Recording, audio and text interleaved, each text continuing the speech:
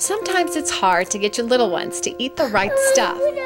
So we created a place to make it a little easier to sneak in the proper nutrition. Called lycopene. I have no idea, but it's good. Simple recipes with lots of fruits and veggies in no time at all. We're adding some sweet potato. But what's life without a little splurge sometimes? Told you we were moms. We've made that super fun too. We know parenting's hard. We've thrown in the stuff to make it easier. The Parenting Channel, now a proud member of the KIN community.